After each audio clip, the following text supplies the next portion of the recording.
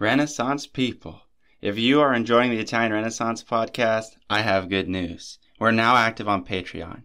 You can show your love for the show by becoming a patron and get access to additional resources, information, and artworks.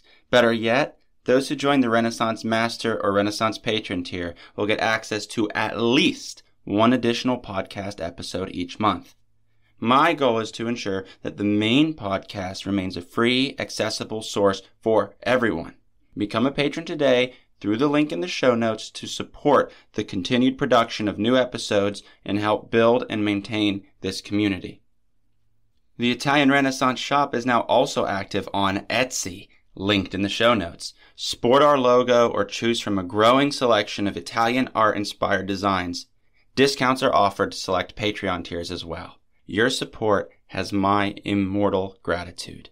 Now, enjoy the show. Welcome to the Italian Renaissance podcast, where we discuss the culture and art of 15th and 16th century Italy. I'm your host, Lawrence Gianangeli. Andiamo avanti. Hello, Renaissance people, and welcome to the continuation of the history of Renaissance Venice. Please excuse me because I'm a little under the weather, so my voice is a little scratchy and I'm a little sniffly, but the show must go on. We have now established the political and geographical circumstances of Venice coming out of the Middle Ages and how those manifest in the 14 and 1500s, including the multitude of cultural influences. And in our last episode, we discussed the lasting legacy of Saint Mark the Evangelist in both the visual culture and the formation of Venetian identity. While our analysis of San Marco brought us to a painting by Giovanni and Gentile Bellini, I want us to return to examining the Venetian Renaissance through a chronological development of cultural influences and style, and that begins with their father, Jacopo Bellini. If you recall, I used the example of his flagellation drawing to demonstrate how earlier Florentine design influenced the development of Venetian art. Now we are going to look deeper at Jacopo and his lasting impact on Renaissance art in Venice. Jacopo was both born in Venice around the year 1400 and died in Venice around 1470 we can loosely declare that Jacopo is the artist who formally brought principles of Renaissance art that was developing in Florence to Venice and eventually proliferated it in his own workshop. It's his own tutelage that came under the artist Gentile da Fabriano, one of the more prominent painters of central Italy. We have come across him before when we were talking about his magnificent Adoration of the Magi in Florence, one of his masterworks of the international Gothic style. Let's keep in mind that Jacopo's first son, Gentile Bellini, is named after his own master, Gentile da Fabriano. So let's do our best not to mix up all of these Bellinis and Gentiles as we move forward. And additionally, Andrea Mantegna was married into the Bellini family as Jacopo's son-in-law. So a great deal of the early Renaissance in Venice is directly tied to Jacopo's immediate circle. Significantly around 1423, it has been suggested, though note without absolute certainty, that Jacopo and Gentile da Fabriano journeyed together to Florence. We can imagine the state of the city at the time. Filippo Brunelleschi's dome was just beginning its construction. Donatello and Ghiberti were dominating the sculpture scene, seeing the blending of the predominant Gothic style with classical influence. Giovanni di Bicci de' Medici was among the wealthiest citizens in Florence and was grooming his son Cosimo, who would take de facto rule by the middle of the Quattrocento. Likewise, painters like Masaccio, who we have not discussed, were developing and maturing the naturalistic style that Giotto had introduced a generation prior and referencing form through Donatello's innovative approach on sculpture that he studied during his sojourn to Rome with Filippo Brunelleschi. all of these lines of experimentation, innovation, stylistic development, intersections of sculpture and painting, they're all converging in this period. And Jacopo Bellini is a 20 something year old artist, and he's just taking it all in. And that is, whether or not he actually went to Florence with Gentile da Fabriano.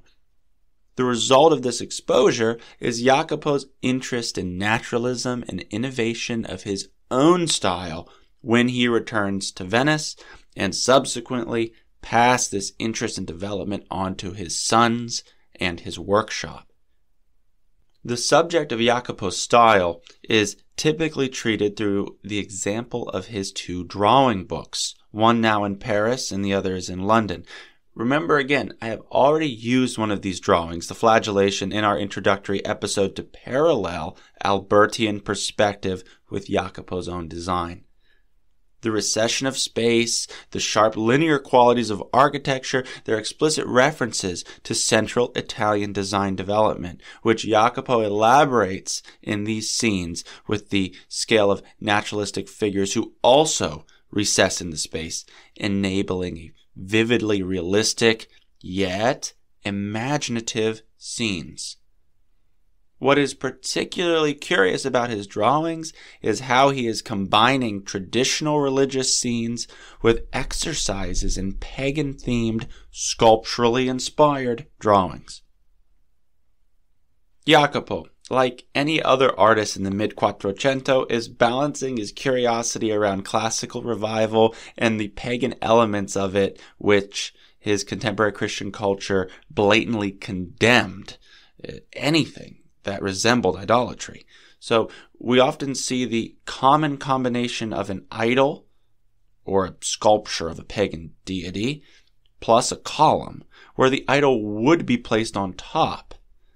However, these objects are often placed in relation to the living image of Christ. As such, he can display his interest in pagan forms by way of a pictorial demonstration the living form of the God of his culture, stands triumphant over the often collapsed pagan order. Yet we can argue that paganism enhances the pictorial beauty of the drawings based on the changing aesthetic taste of the period, right? People are starting to appreciate classical form again. Still, his approach to depicting the holy is unusual. It's decentralized. It's in direct neglect of established pictorial tradition of religious subjects of the 1400s, which tended towards formulaic or structured approaches to devotional art objects. One remarkable example is his drawing of the baptism of Christ. The essential point of the action, the actual baptism, is dwarfed by this towering landscape in a a river cuts through where the very small Christ is being baptized by John the Baptist and the cohort of angels, if you can make them out, because they're so small.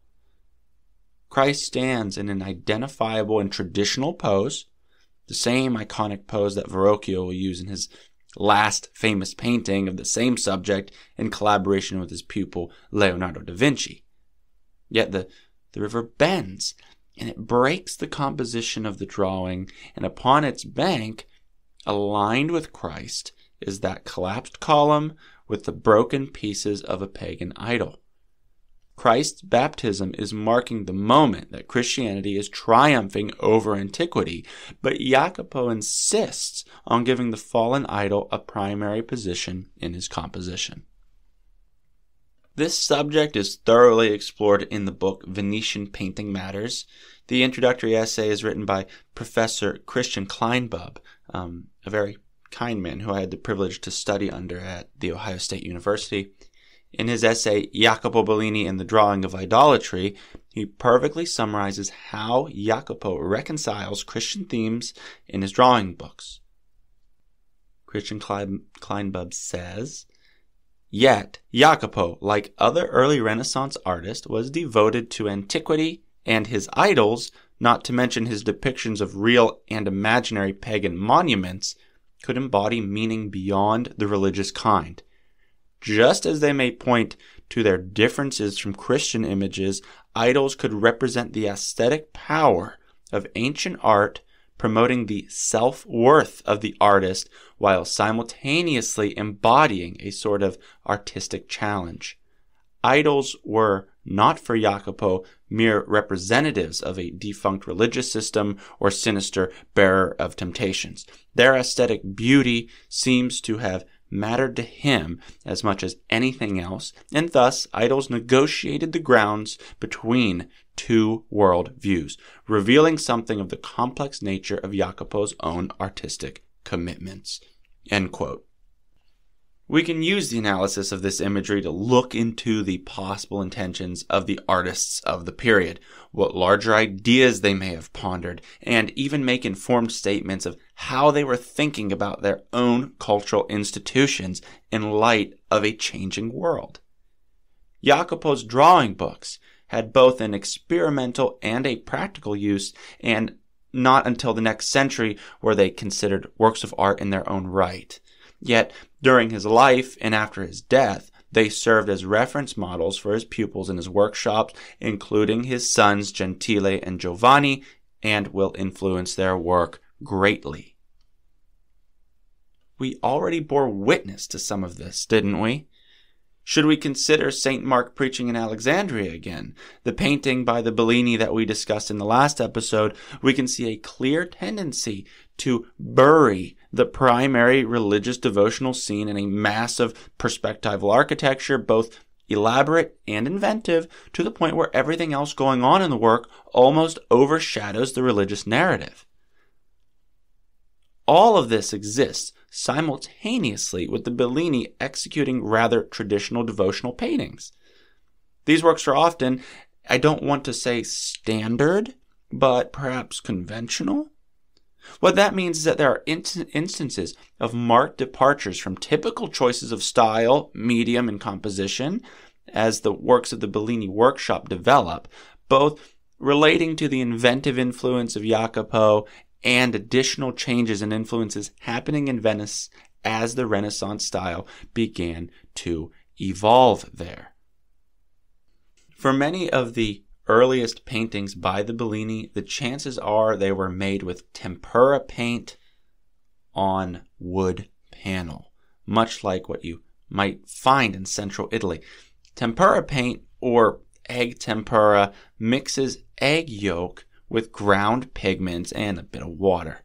The egg yolk enhances color brightness, but these paints dry very quickly, and that is important in those early examples, such as Giovanni Bellini's Dead Christ, supported by two angels, from around 1460, we can already see Giovanni's attempt towards naturalistic anatomy, not quite there yet, and a very delicately rendered sky with sharp gradient of color.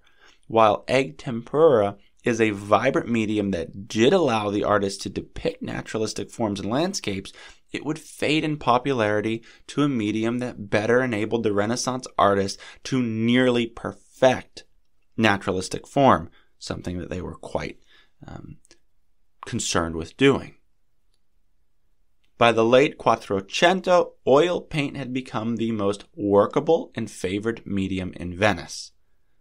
The slow pace in which oil paints dry gave the artist more time to work their surfaces, enabling more time and detail to figures, expression, landscape, and a much smoother finish. Artists decided between painting either oil on wood panel, same with egg tempera, which was on, on wood panel, or later in Venice, oil on canvas. The influence of oil paint in Venice is a result of both their trade connections and the import of colors and materials, as well as the arrival of Netherlandish panels painted in oil paint. A technical analysis, that is a more scientific approach to art historical study that is far beyond me, revealed that Giovanni experimented in oil painting as early as 1473 and in his Coronation of the Virgin located today in uh, Pesaro, which very likely was the result of his viewing of these Netherlandish works. I'm not actually sure if it's Pesaro or Pizarro. Someone send me a message and tell me what that is, uh, how to pronounce the, the city. So, shortly after, in 1475, the renowned Sicilian painter Antonello da Messina spent a year in Venice, and with him came his advanced understanding of how to work oil paints. Although there is evidence to support a number of his works were painted in Venice, his San Cassiano altarpiece, which only survives in fragments today, would influence the trajectory of altarpieces in Venice, starting with the work of Giovanni Bellini, son of Jacopo Bellini we should consider the innovations of Giovanni Bellini in light of his training by his father, meaning the tendency towards naturalism inspired by antiquity, the multitude of influences on him from outside of Venice, be it Florence, the Netherlands, now Sicily, or even the existing Byzantium influences in the city of Venice. Giovanni reacted to all of these in his Saint Job altarpiece, San Giobbe. The book, Painting in Renaissance Venice, by Peter Humfrey, explains the importance of this work. Humfrey states that Bellini, in turn, had reached a stage in his career when he was ideally equipped to grasp Antonello's message. His answer to the San Cassiano altarpiece was the work that can claim to be the central masterpiece of Venetian painting in the later 15th century. Take that in, guys. The San Giobbe altarpiece as the central masterpiece of later 15th century Venetian painting, according to Peter Humfrey. You're going to want to try to look at this image as we dive deeper. We are talking a large scale oil painting on panel that was designed in situ or painted to accompany the setting and architecture where it would be placed inside the church of San Giobbe around 1480, though it is now in the Accademia in Venice. It's been removed from its site, which kind of detracts from um, the in situ aspect of the work. What is the complete use of oil paint permitting Giovanni here? Have a look immaculately smooth gradients, a heightened sense of texture and tonality. Look, there is flesh, there is stone, fabrics both regal and modest, hair, marble, the glimmering glass shimmer of golden mosaic. Incredible. And look how the space is rendered. There is a marked departure from earlier Quattrocento religious painting where figures often share the same plane. Instead, they are placed in a seemingly three dimensional space. The Virgin and Child are pushed into the architecture, the two groups of saints closer to the space of the spectator. They stand in between you and the enthroned Saint Mary. The Virgin is still elevated above, her hand raised in blessing, her gaze is looking over you. It's not directly addressing you. The humanity that we see in these saints is stark. Their halos are mere slivers of paint. They are identified by their popular symbols, yet they are individualized, almost as if you might find them wandering the Venetian streets. Maybe not Saint Sebastian, though. Look at him, plugged full of arrows. He stands like a classical sculpture in contrapposto. His anatomy is perfected, idealized, beautiful. Right? I guess in the objective concept of beauty in the Renaissance. I think we are seeing a translation of those sculptural qualities found in Jacopo's drawings here in Giovanni's painting. And what is going on in the background? We have seen those gold mosaics before, haven't we? Certainly they evoke the interior of the Basilica of San Marco. Specifically, it is a series of those five Byzantine seraphim, or those sort of abstracted angel forms from Christian theology. See how a devotional altarpiece to the Virgin Mary, among the most esteemed saints in Venice, is referencing the Venetian legacy as it pertains to St. Mark? All while being presented through a complex history of design influence, be it from Florence, the Netherlands, or Sicily. Not to mention that this work likewise is influenced by Giovanni's Paduan brother-in-law Andrea Mantegna's San Zeno altarpiece from around 1460, which unfortunately goes beyond the scope of what we can cover today. This painting is what is known as a Sacra Conversazione, a holy conversation, including the Virgin and Child with groups of saints. This is what they typically are, and it was among the most uh, monumental Sacre Conversazioni of its time, recalling the earlier, larger religious scenes by the Bellini where the figures are dwarfed by their surroundings. Yet, that difference in scale is harmonized in this painting. There is no mistake that this is a sacred image, but one that both directly quotes Venetian architectural space and its religious implications, as well as embeds the work in a physical architectural setting that is not San Marco. Pretty cool, right? I do not want to make general claims about any individuals as being responsible for any given cultural movement. And the early works and influence of Jacopo Bellini are just one single piece, however, very important, a very important piece of the many moving parts that produced major cultural changes in the Quattrocento. I hope that I made his role clear and the subsequent results of how Jacopo's innovations blended with a variety of other factors to produce a cultural shift in painting in Venice in the Quattrocento, particularly through his sons and followers who would take up after his work. This is by no means the end of the story, but rather just the beginning of the development of a Venetian Renaissance style. Try to keep in mind that we have now explored painting development in the 1400s, a style which will take new forms in the 1500s, be it in the later works of the Bellini, to Titian, Veronese, and Tintoretto, who we've talked about, among many other artists in Venice. I also want to include a side note that there is ongoing scholarship about the Bellini and how we understand their impact and influence and, and works uh, is changing. So what I have provided you is the, I suppose, most canonical or the most um, accepted version of how we understand the Bellini, their painting, their drawings, their innovation in the early Venetian Renaissance, but that is subject to debate and to future change. We talked about a lot of paintings today. As always, I will be updating the Instagram with all of the images mentioned, which also post to the podcast Facebook. So go follow us on your preferred social media. Be sure to tell your art and art history friends about the show. Help me build this community. I want to say thank you to those who have directly supported the show and if you want to support this project, you can do so directly through the link in the show notes.